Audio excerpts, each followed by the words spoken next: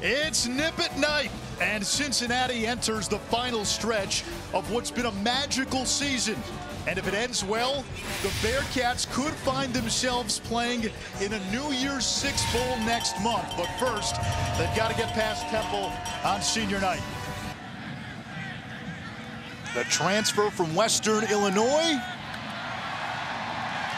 gets Cincinnati on the board first. Crosa, a 37-yarder. And the kick is good. Cincinnati gets three. This is Warren, an opening. Touchdown, Cincinnati. Here's Gardner. Runs into a roadblock. Perry Young leading the charge.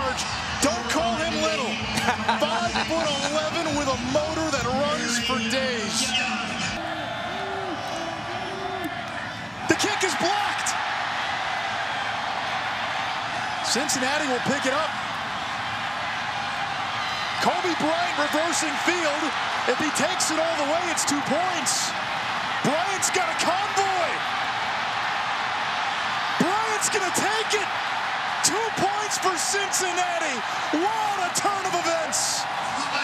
It's a two-possession game now. Russo under pressure. He's hit. Throws it up, and it's intercepted. Forced the pick.